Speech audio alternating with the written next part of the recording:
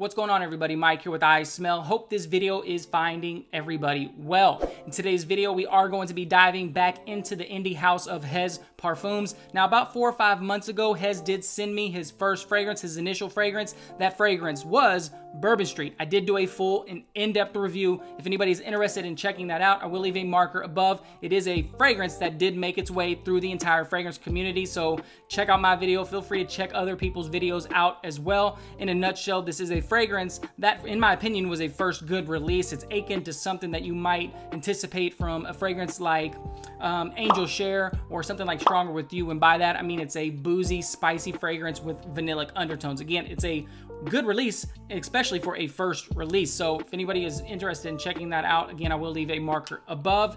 Since releasing Bourbon Street, Hez has in fact released several fragrances, and that's what we're here to talk about today because I do have my hands on a few of them. Now, first things first, I do want to apologize to Hez because I have been sitting on this package for like a month, but in my defense, I have not cracked open this package. I value being honest and authentic and unbiased in my reviews, and I did not want to smell these before giving a first impressions, and that's exactly what we're going to be doing today. So yeah, I might just do a cutscene, but I do need to crack this box open.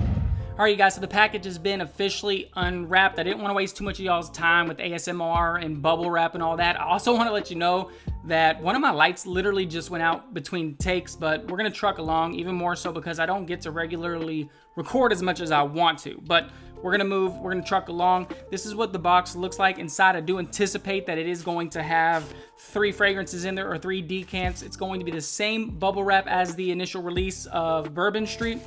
And yes, there are three decants in there. They are going to be Cafe Beignet.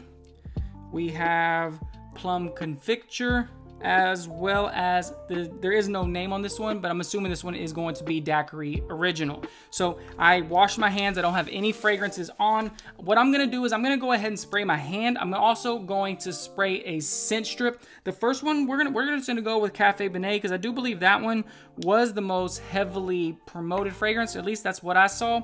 So yeah, we're gonna go ahead and spray a scent strip and we're gonna spray my hand as well. I did write the notes down. The notes on Cafe Beignet are going to include include up top coffee and cinnamon. The mid is going to contain brown sugar, iris, and vanilla. And then in the base, it is going to be cacao or cocoa, sandalwood, as well as oud. Now, I do hope that this is uh, a coffee fragrance. All three of these fragrances sound like they are gourmands and they are designed in essence to transport you to New Orleans. That's the whole vision behind Hez Parfums.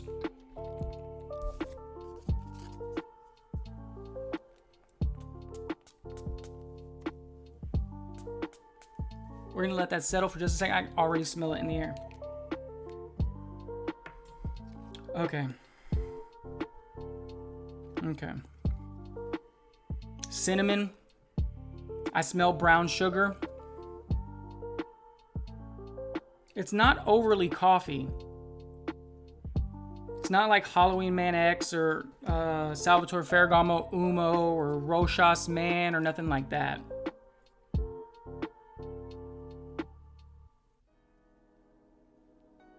Maybe just a little bit. It does kind of have that vibe, just a little bit. Of that, that New Harlem type vibe. Yeah, this is good.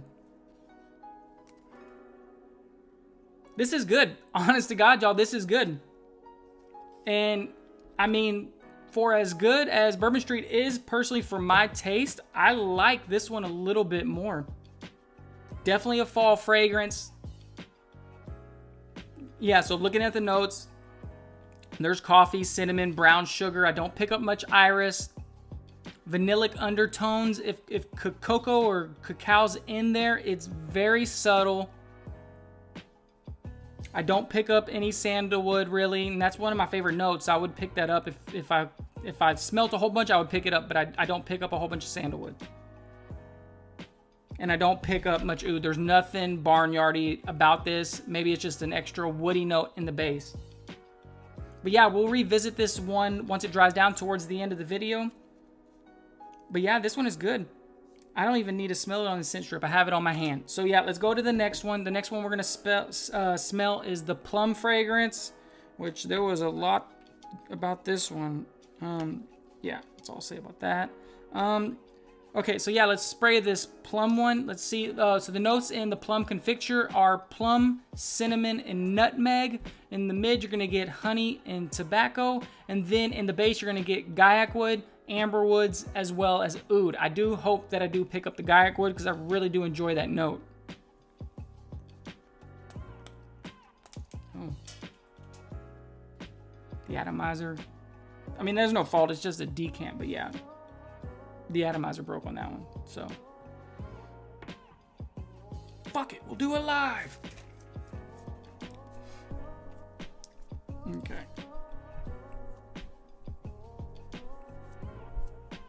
I'm gonna let this one sit. Oh yeah, okay. I'm gonna be honest, Hez. I'm gonna be honest.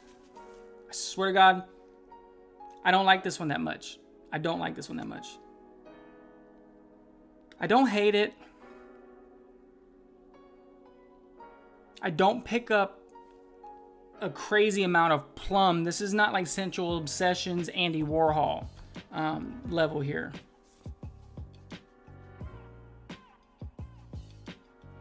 I pick up cinnamon nutmeg. I pick up honey. That's what I pick up in this one quite a bit. At least on my skin, I'm picking up the honey. Yeah, so, so far I like Cafe Beignet the most, and then I like uh, Bourbon Street the second most out of the stuff I've personally smelt from him. We're gonna go ahead and spray the third one, but yeah, um, uh, Bourbon Street and Cafe Beignet, I genuinely like. We'll see how this one dries down. It's hard to judge a fragrance though from first smell. the opening I wasn't that much of a fan of. It's starting to dry down and I'm starting to like it a bit more though. Would I wear it though? Probably not. I probably would not wear this one. Okay, so we're gonna spray the third one, the Daiquiri, Daiquiri Original. We're just gonna spray it right here. The notes on Daiquiri Original are orange, orange blossom, and blueberry, gin, rum, and cognac in the mid, and then in the base it's Mysore wood, which I don't know what that is, as well as musk. I can smell this one in the air. This one is my speed. Yeah, I like this one. I like this one as well. So two out of three, that's not bad, Hez. Yes, you definitely a lot of orange. Think of a dreamsicle type vibe. That's the kind of orange I'm getting. So orange blossom is a floral note. Let's see if I pick up that.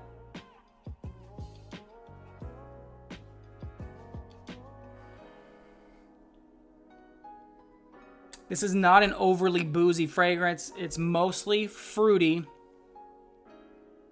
gonna spray this one one more time. I do like this one.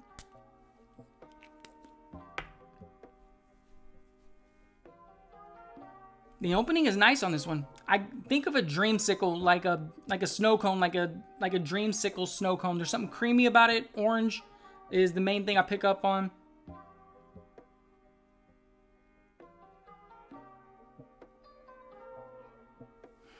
I could see a rum note. I could see it being like an orange rum type fragrance, and I'm assuming it does gonna it is gonna have a musky dry down. I'm gonna take about 10 minutes. I'm not gonna say, oh, I'll be back in an hour because I don't have an hour to record. I'm gonna be back in about 10 minutes and see how this uh, these fragrances dry down. A few moments later. All right, so it has been about 10 minutes. I've let it dry down. We're gonna revisit these and see if I pick up anything different or if my opinion of any of these fragrances have changed. First, we're again, we're gonna smell the Cafe Beignet.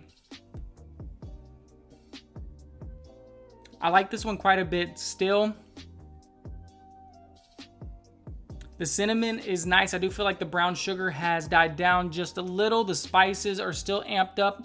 They do kind of smell similar to the spices that were used in uh, Bourbon Street, which is a good thing. I do like this fragrance. Um, and out of all of his fragrances that I've smelled so far, this is the one that I would wear the most. We're gonna smell the plum fragrance now, plum confecture.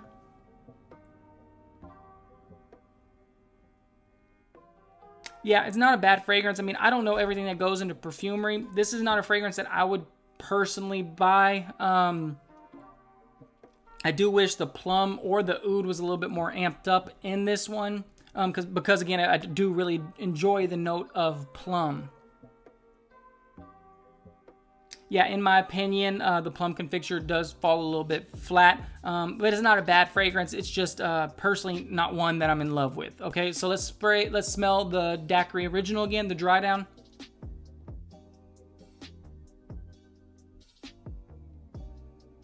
Okay, yeah, the Daiquiri original is still good. If you like that fruity orange creamsicle vibe, then this is one that you would definitely enjoy. It's perfect for around this time of year. It does have that fruity, fresh vibe. There's something creamy about it as well. Is this doesn't smell like it's gonna be a screamer of a fragrance that's gonna have eternal longevity, but it smells nice. It's a fragrance that you can respray and enjoy the opening. All in all, I think all of these are great fragrances, excellent releases coming from the house of Hez Parfums. All right, guys, that's pretty much gonna wrap it up for me. Those are my thoughts and first impressions on Hez Parfums, Cafe Beignet, Plum Confecture, as well as Daiquiri Original. I really do love and appreciate y'all checking out the video, even more so if you watched until the end. Now, I do want to let y'all know that Hez does sell bottles, 50 milliliter bottles for $65 on his website. He offers uh, decants as well, so 2 milliliter decants for $5 and 5 milliliter decants for something like $15. And he offers a ton of promo codes from anywhere from 5 to 25%. I would encourage you just to check out the website and see everything he has. Since releasing these fragrances, I do believe he has a few more releases as well, so by all means, feel free to go over to his website and check it all out. I will leave a link in the description below. But other than that, that's pretty much a wrap. I really do, again, love and appreciate the support. We have a ton of exciting content coming down the pipe, so please do make sure to stay tuned. Until next time, you guys, y'all take care. Stay safe. All right, I'll see y'all around. Bye.